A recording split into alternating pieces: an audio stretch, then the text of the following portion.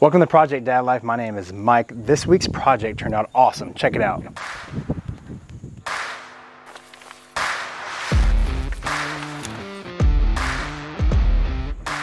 Hit the thumbs up button, make sure you subscribe, and let me show you how this project actually started. I was wrong, it was not. This deck has been a lot of work. It's looking good.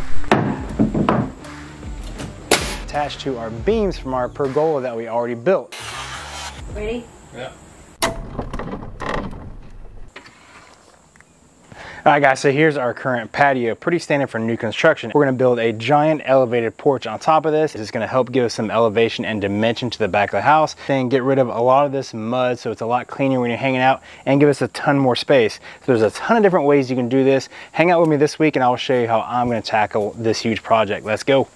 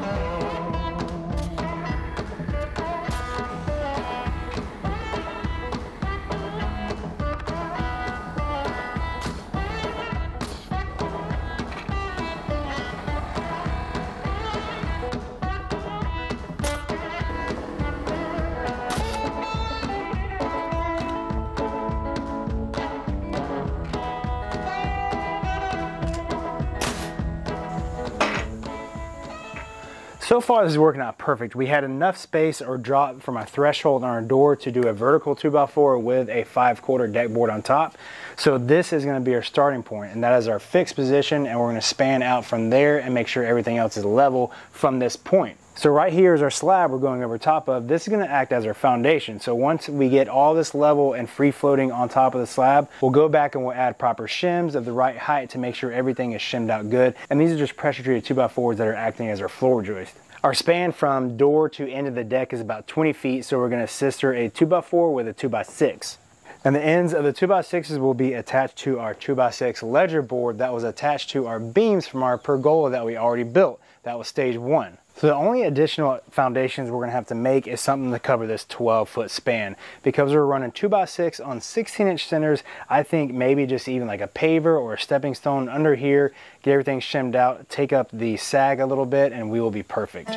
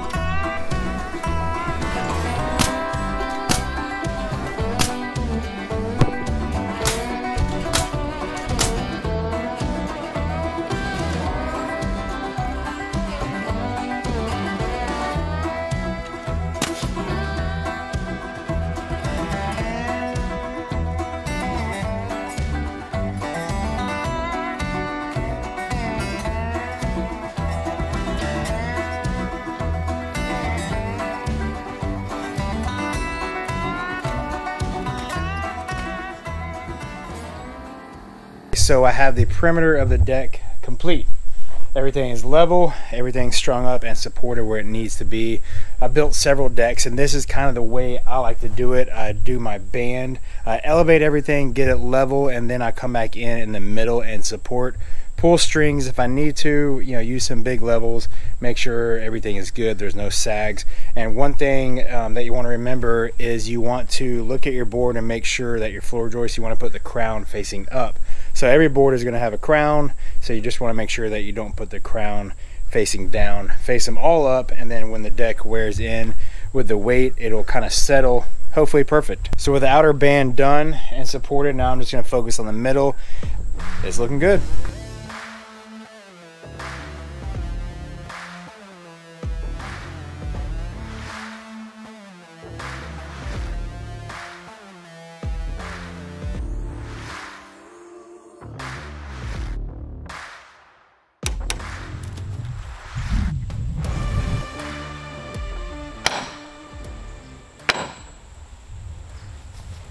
Nothing for you though, right? Yeah, Now what about these bikes? Now what about these bikes? Bikes? Yeah. Here, switch sides with me. Yes. Now what about these bikes? We're not using those yet. Yeah. Is there?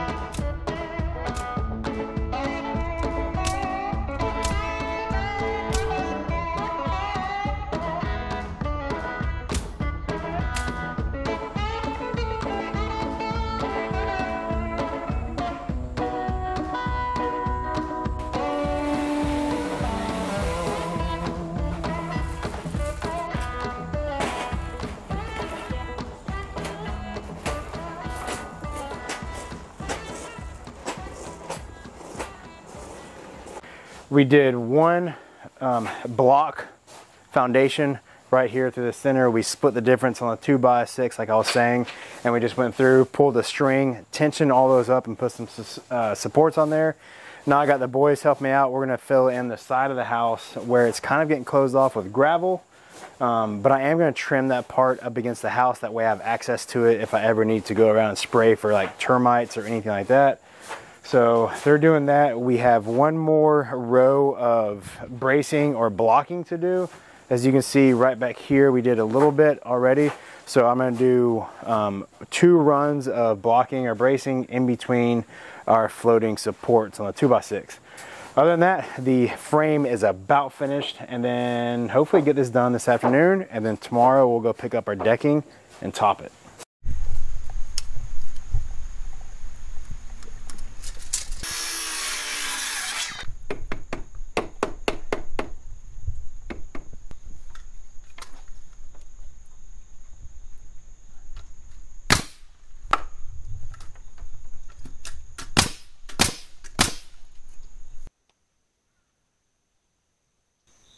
We are just about ready to start putting all the deck board on. There's a few things I want to show you guys that I kind of did differently. Not differently, but a couple of the hurdles, I guess you should say, that I had to do with this deck covering the patio. This is some great stuff, pest block and installation. So what I did, if you reach under your siding, there was a couple spots where it felt like there was some gaps or it kind of needed to be sealed up. So before I cover this up with a deck, I went through, I just bent the top of this nozzle to where it kind of had a hook on it and it hooked perfectly under the siding. And then I insulated and sprayed the line all the way down. That way I kind of get some peace of mind. Don't have to worry about it. So that's one of the things we did there. Um, the last thing we have to do is go through and luckily because I cut an angle off the 2x6s where they met the patio, I have these nice pressure treated shims left.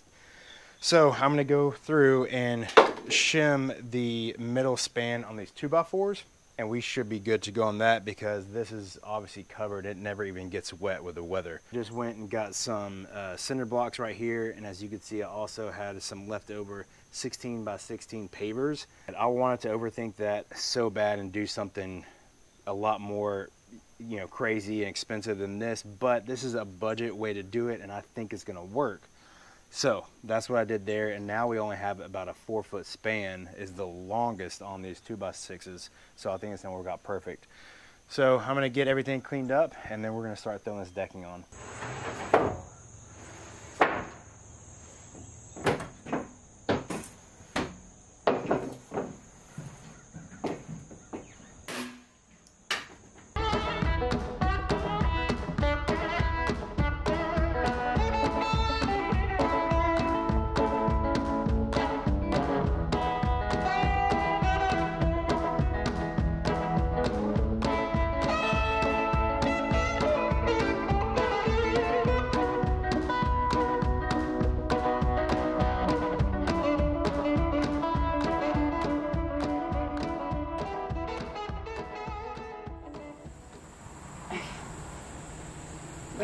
Yeah.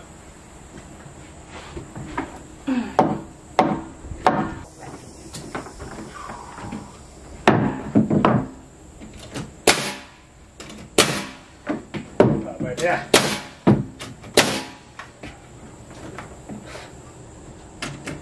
It's like we keep adding these boards and it's like nothing's happening. Yeah. you know what I mean? You get that feeling too? Yep.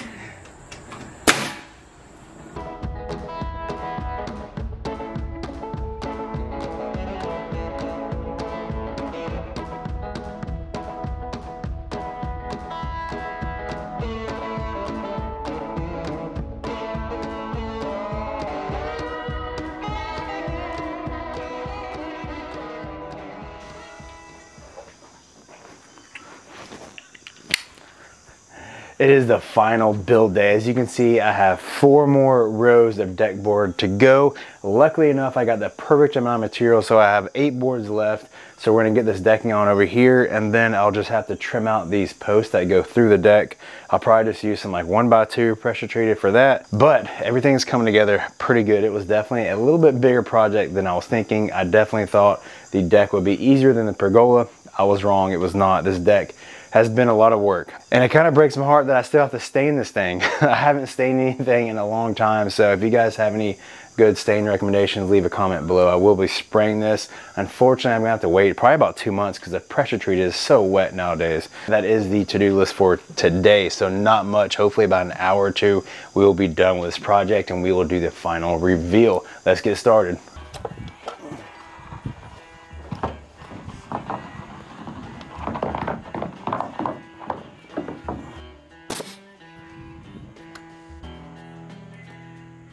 One of the last boards I'm gonna have to cut to go around these uh, center posts right here. Two things you wanna make sure. You wanna make sure your seam is lined up at the end. You can see down here, that's where I'm gonna nail my nail joint. So I wanna make sure that is in position and your board is centered on the porch. And then you wanna make sure your coping is good. So you wanna make sure the crown on the board is angled up. That way the rain runs off. Once you get those two things, I'm just gonna use a straight edge and go on my board right here. I'm gonna make a pencil mark all the way down and this is capturing the width of this post. Now I'm gonna try and keep this as tight as I can even though I am trimming it out, it'll just fit a lot better.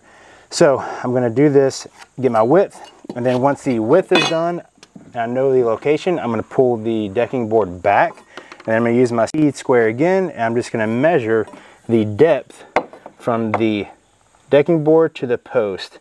And it looks like we are right at two and seven eighths. So now I know I need to leave two and seven eighths right here. So I'm gonna put this square back on the deck board and I'm gonna mark just below two and seven eighths. That way we don't have too much of a gap.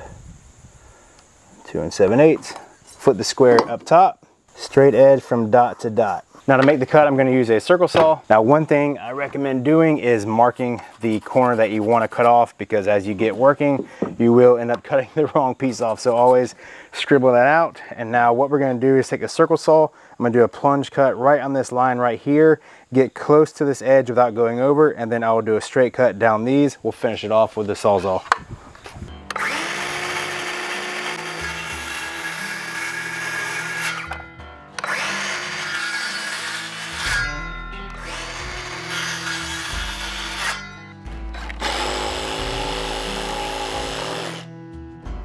Moment of truth.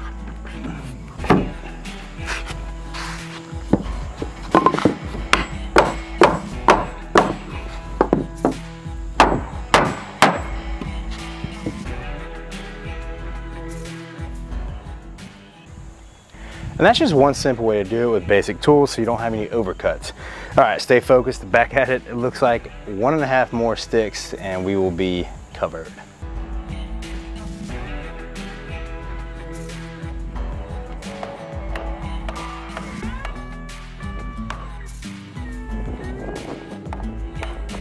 The very last board is on. The last thing I have to do is run a chalk line down this edge right here. This was the overhang. I typically do this after I get done building it. That way you can kind of set your overhang where you want it and then you just zip all the ends off and it lines up perfect.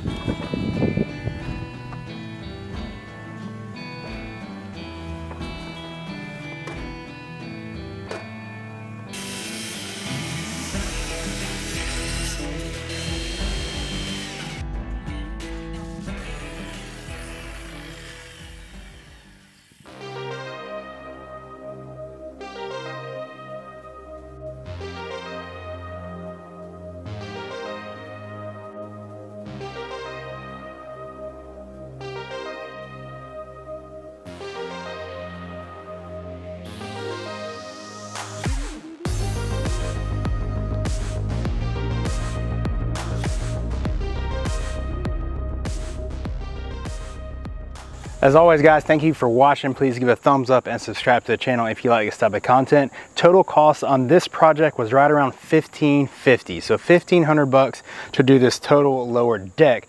For a complete cost breakdown with the lumber used and a more detailed list, check the description below. And we will see you next week for another project. Thank you, guys.